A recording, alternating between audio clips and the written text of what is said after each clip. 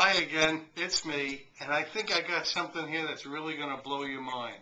I'm going to give you the wide angle on a revolutionary new product and allow you to focus in on so specific clients that could use this.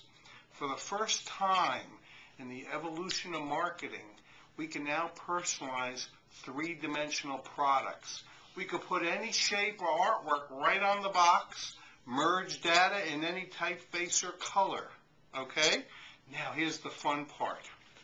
It ships like this, but when they open it up, inside is a personalized three-dimensional camera with a pop-out lens and the person's name on the camera and every panel of the film strip.